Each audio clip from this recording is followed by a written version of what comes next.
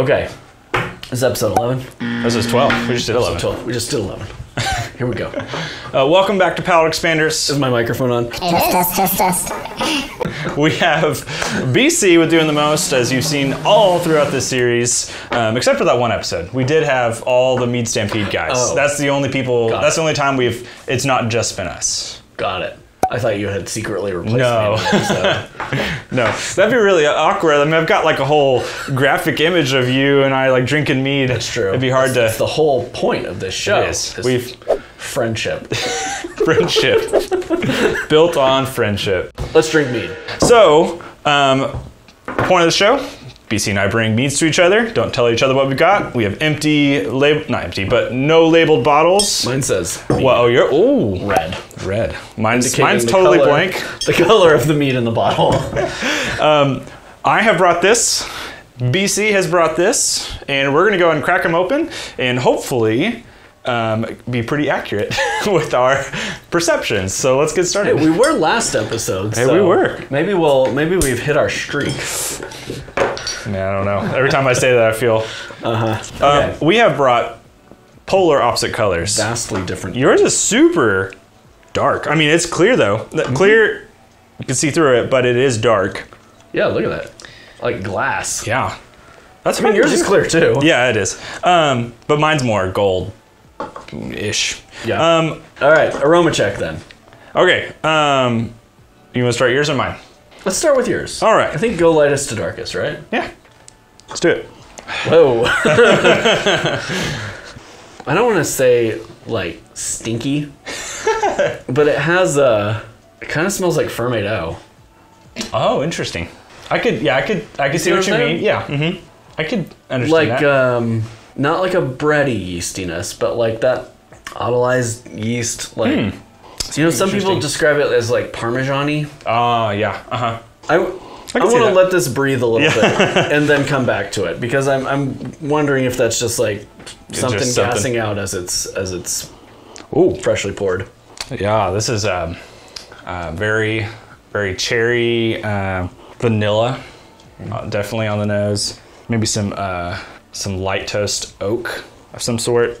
But there is like a, a warm, rich um, uh, honey aroma in there that is like, th- that vanilla and that like cherry. I, I all I can think of is cherry, cherry, dark fruit, like like a um, not raspberry. Raspberry would be brighter. Hmm. It's a mystery. It is mystery, but it could be. It has a little bit of a mixed berry I, like idea Okay. to me. Um, it smells good though. I really like that. Um, Yeah, I'm, I'm. I can agree with you. I smell an oakiness Yeah. on it. Like that's kind of the first thing that hits my nose. and they're vanilla and oak. Like you can really get. I feel like a lot of that softness. Okay. Let's go back to yours now that it's had some time. I see what you mean though. There's, I mean, it's faded a little bit. yeah. But there's. this is gonna sound really weird, but it almost has uh, like a roasted squash kind of Oh, smell. roasted. You know, like a butternut squash or a spaghetti Yeah, squash when you I- roast yeah. in the oven. That's interesting. Not like savory necessarily, but like squashy. Just a little squashy. Just a little squashy. but it does it does smell a little parmesan-y too. Uh huh. Very interesting. I'm gonna is- guess this is an age thing. That this is Yeah, this I- is youth. I'm gonna guess it is too, because. But I'll, once the reveal happens, I'm sure we can diagnose We, we the can problem. walk back from there. Okay. Uh, What's next? let's go and taste them. Okay. Let's start with yours. How about that? Okay. Is that would you rather no, go that's opposite? fine. That's fine. I'm, I'm, just, I'm just so curious about. Oh wait, then, then you go with my first. We'll go. Okay, I mean, there's nothing I want more than a little parmesan and, a little glass of cheese mead. I know how well that and you know out. about that. Yeah, you know all about the cheese.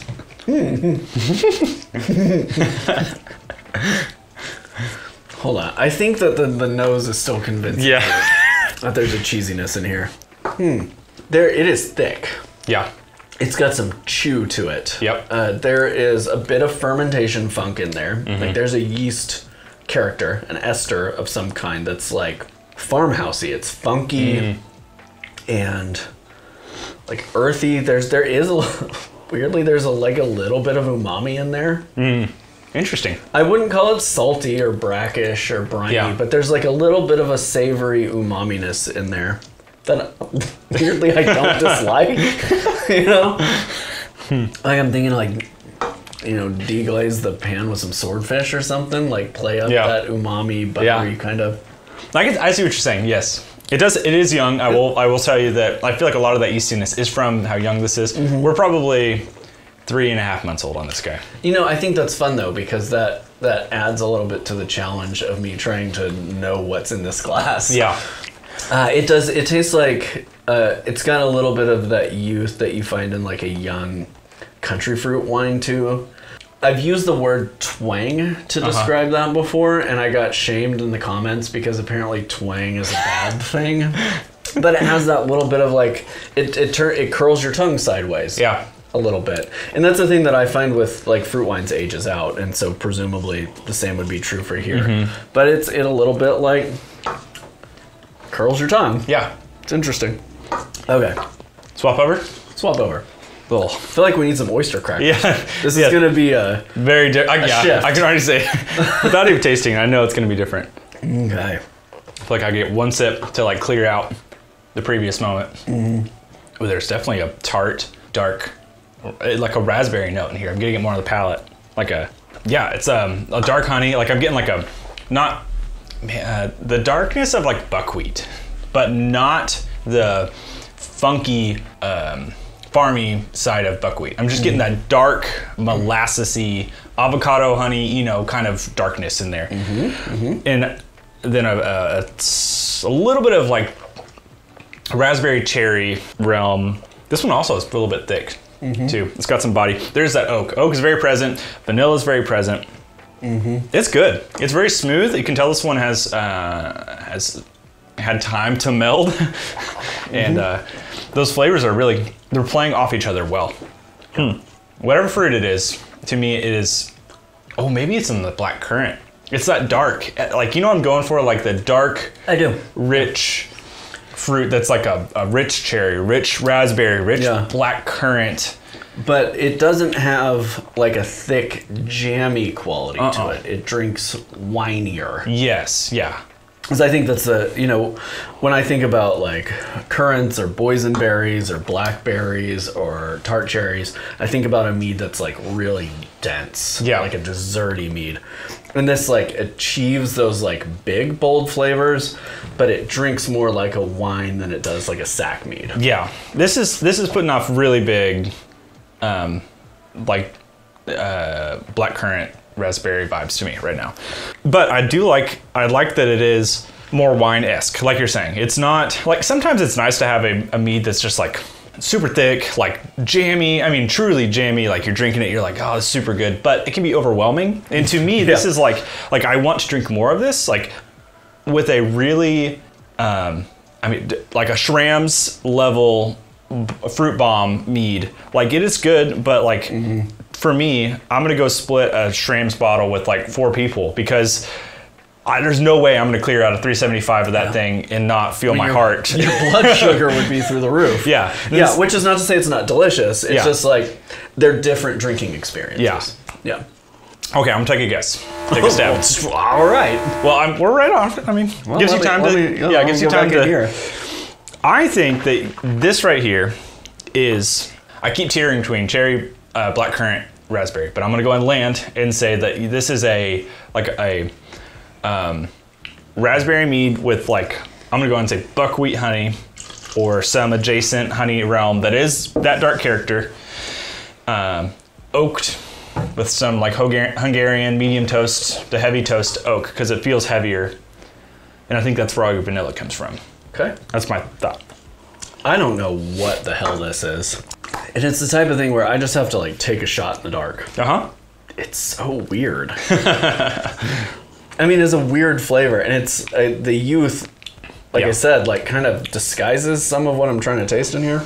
I pick up honey character. There's an acid in there Mm-hmm. that's striking me as like probably tartaric acid. Yeah. It's not a biting acid, but it's not a real round acid either. So I'm trying to think of like what in that realm there would be. Yeah. There's like tamarind and Mm. white wine grapes. but I don't think it's either of those. I am going to guess that this is a Perry made with honey and perhaps some artificial form Artificial me? No. Form of pears that are not real pears, or some like there. It tastes fruity, but it's not like a fruit I can identify at all. It's like if you made fruit cocktail mead, which I guess you kind of did before. but yeah, it's I, it's something lightly fruited, I guess, with with uh, wildflower honey, and it needs about another year to sit in that bottle. I 100% agree on the, the year portion. That's this needs a lot of time. What I've uh, I'll start with mine. Yeah. What I've brought here is not the finished product of something. I this is a stair stepper to the final um, result of the video. So this is a an Acerglyn. Okay. Okay, so with mocha oak, and um, I want to say I used uh, uh, orange blossom honey. I'm gonna double check my. I could I could pick up an orange blossom note if you like twisted my arm. How did you introduce the maple syrup? Primary, all in the primary. So what's happened here is How much? six pounds of uh, maple syrup. It's a three gallon batch. Six pounds, three pounds of honey. Um, so that's kind of my split right now. Came back and I back sweetened with a little bit more honey. I can't remember exactly what kind. And then I added my mocha oak chips only about three days ago. Okay. And they've really kicked off and started to add some flavor. Got it. Um, but I brought this because it's in development, and I wanted to see if you'd pick up any maple. And so I'm thinking that I, need to don't. come. I, no, no, which is fine though. I'm thinking. the thing is, when I I taste it, I'm looking for it. You know what I mean? Mm-hmm. What I now realize, I, I've never made an Acerglyn, and I picked this because you are you've done I've a lot done of a Acer. lot of Acer There's still a lot in that closet over so. I think I'm gonna back sweeten with some more maple syrup Yeah. and come back with that because I still have some. Yeah. and I think that will help bring that flavor out and also leave it to age. Well, I think those oak chips, like really, really doing their work on this, Mm-hmm. is going to help too. As I was developing my Acerglyn recipe, what I realized was was a big, heavy punch of oak. Yeah. is really important to like bring back some of that woody character Mm-hmm. of the maple syrup, and then a heavy sweetening obviously brings back that like sugary Yeah. candy flavor. It's it's a tough thing to balance. I can see what you're going for here. And I agree with your assessment. it is young, but the fun thing is, like I said, this is just the next step. So this, there is a video for this. Um, I'm in works on it currently. I'm basically going to take everything we did here and go and fix it. So you'll see those changes on the video. You can find that video down below. Love it. Um, yeah. Okay. So So this, wait, wait, wait, wait, wait. Oh, you no, actually, I guessed. Sorry. okay. Well, remind me of your guess. I said it was like a, a dark raspberry, buckwheat honey, dark honey uh, toast with like a heavy American Hungarian, some sort of oak in there with vanilla. okay. So this was, interestingly enough, a batch from one of my recipe tests that I was doing. We never planned this, by the way. this is always Now, my video's already out. I've already published my final video on this, but this was one of the four whatever batches that I did as I was working on this recipe. And a lot of times when I edit my videos, they are multiple pieces of footage being put into one video. So Yeah. you might see like batch two here and batch three there and batch Uh-huh. four there, but the final recipe that I whatever the final batch that's the recipe i present. But sometimes i use clips depending on if i mm-hmm. got a good angle or whatever. And so this batch actually didn't make it to the final video. This was mm. my like well it kind of did. I mean my primary was Yeah. this batch but this was like my presentation batch. But i'd already bottled the batch that i, I wanted to use for the bottling portion. So does this all make sense from like a tv land kind of perspective so what all that is to say is I just had this batch just sitting around in a carboy. yeah. And so I was like, well, what should I do with it? So I put it in that oak barrel over there and I left it for several months. And as you can see on the side of that oak barrel, the thing that was in there Oh. before the Merlot Pyment was a barley wine. When I bottled the barley wine out of that whiskey barrel, Uh-huh. there was still like a half a gallon of barley wine, and I just racked this right on top of it. Okay. Okay, so this is a Merlot Pyment. So the fruit you're tasting in there is Merlot, which does often have some of those fruit characters you're Okay. talking about. There is uh, mostly alfalfa honey, but Oh. also a big dose of buckwheat honey, which is where you're getting those buckwheat barnyardy notes from. I'm very impressed with your tasting because you nailed the buckwheat honey, the fruit character, not necessarily the fruit, and it's an American oak barrel. It's a whiskey barrel. And that obviously brings some vanillins into the mix, but also the barley wine that was in there Uh-huh. brought some big chocolatey vanilla notes in there along with it. So it sat in there for three or four months, and I eventually bottled it. I was like, oh, "Shit, this turned out good." It is. It is really good, actually. I mean, I, I want to get into barreling. That's you've had this for a while, and every time I walk in, I'm like, "Ah, man, I feel like I need to do it. Yeah. So I'm just waiting for the day I have a little more space. But um, yeah, uh, this is really good. you know, one of the the really fun things about a five gallon barrel is that it's like actually the right amount of oaking Uh-huh. on a home scale for the most part, but you can use it several times. Yeah. And so as you see, I just write whatever the next thing Uh-huh. is in there. Oftentimes, I just leave a bunch of whatever was in there in there and rack on top of it, Uh-huh. and it becomes this kind of like fun experiment of what What's are you gonna get next. Yeah. What's the term whenever you just keep adding on to some the um, It's like Solera. some yeah I, I remember I, I tried to do it for a while with like a, a gallon of mead and just like every time I had extras just and but then it became a headspace thing and you have to like it's hard to do. Yeah. I it's really good and um, Yeah. I I enjoy I enjoy all the, the characters that are in this because they're like complex and, and part of tasting meat is like finding things that are complex and, and trying to draw out and um, actually understand what you're tasting. If you go back to episode one of this show, man, I was off base with half my tastings. so I think both of us were. so the, but this experiment experience of uh, tasting things is helping grow the palate which is the whole point of the show i feel like sometimes we get away from talking about this but we do this to better our palates but to show you you could do this to better your palate you don't even have to have um, like homebrew you could do this with some friends and say hey you bring a bottle of wine you bring a bottle of wine or mead and let's let's taste and talk And Get out your sip and savor deck. there we go. A little. So um, do this with your friends, seriously, and uh, you'll have some fun with it. It's also fun just to like be wrong or be right. It's cool to be right, but sometimes it's it's funny when you're like, oh, I was getting grapes, and they're like, this is a banana. yeah, yeah. So- uh, That's what is it? Picking up pears in here. Yeah. it's an Acer one. So um, check out. This is perfect promo. Check out Sip and Savor. You can find this. This is BC's project. This is actually a, a great way to taste through things. It gives you vocabulary. It is literally like we should be sponsored by Sip and Savor. Maybe really, yeah.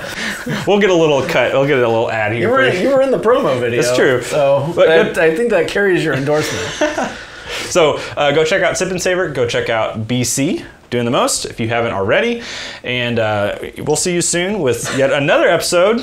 Maybe not soon. These come out like every four months. we have we've got to bottle stuff. We Yeah. you know it takes a while. so we'll see you then. Cheers. Cheers.